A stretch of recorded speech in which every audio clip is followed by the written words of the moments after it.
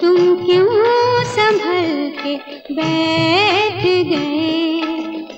जफा के ज़िक्र पे तुम क्यों संभल के बैठ गए?